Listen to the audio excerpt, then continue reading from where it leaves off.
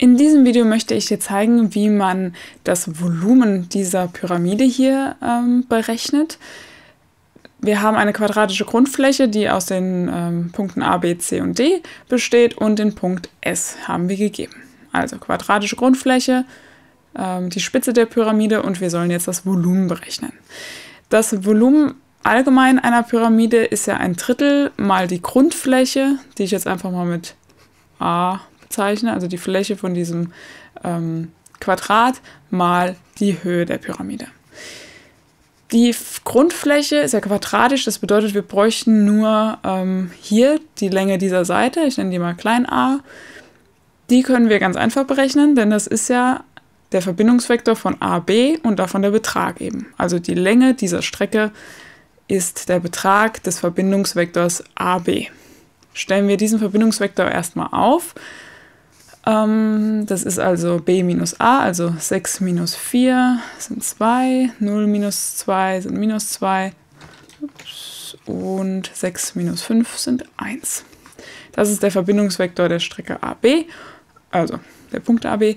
Und jetzt brauchen wir den Betrag davon, von diesem Verbindungsvektor. Das ist ja immer die Wurzel aus der ersten Koordinate zum Quadrat plus der zweiten Koordinate zum Quadrat plus der dritten Koordinate zum Quadrat.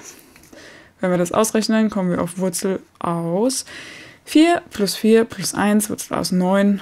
Also diese Strecke hier, die wir mit klein a bezeichnet haben, ist 3 Einheiten lang.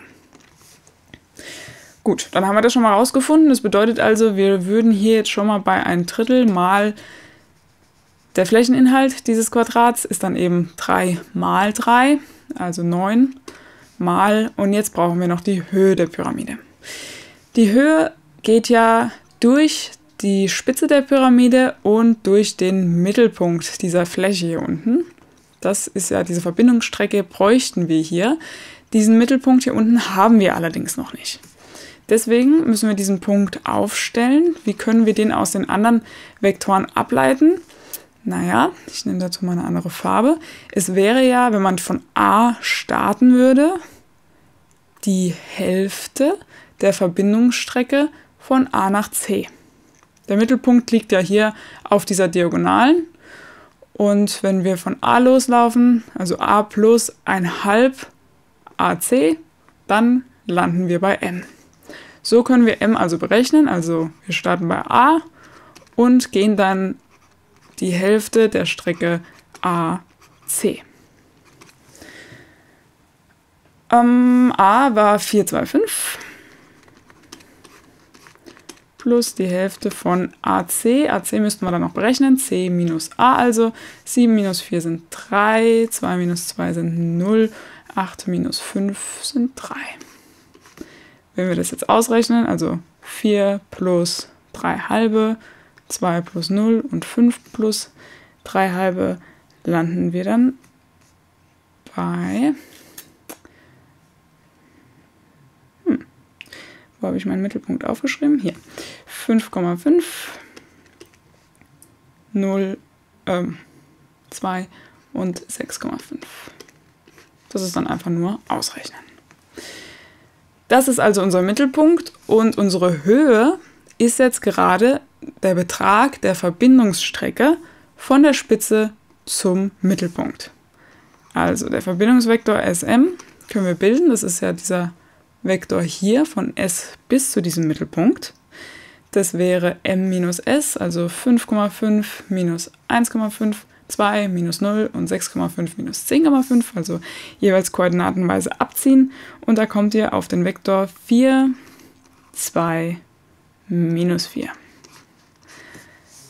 Jetzt haben wir also diesen Verbindungsvektor von der Spitze bis zu dem Mittelpunkt. Jetzt brauchen wir noch dessen Betrag, weil wir wollen ja die Höhe wissen, das ist ja die Länge von diesem Vektor.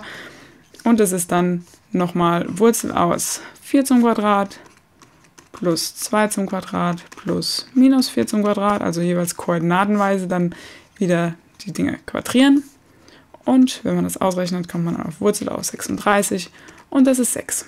Die Höhe in unserer Pyramide ist also 6 Einheiten groß, also können wir das Volumen hier so berechnen und kommen dann auf Ein Drittel mal 9 sind 3, mal 6 sind 18.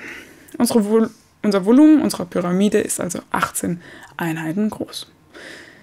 Je nachdem, was ihr gegeben habt, ähm, müsst ihr dann natürlich noch die fehlenden Sachen berechnen. Aber wenn ihr eine Grundfläche gegeben habt, eine quadratische und eine Spitze, könnt ihr das Volumen einer Pyramide so berechnen, wie ich es euch gerade gezeigt habe.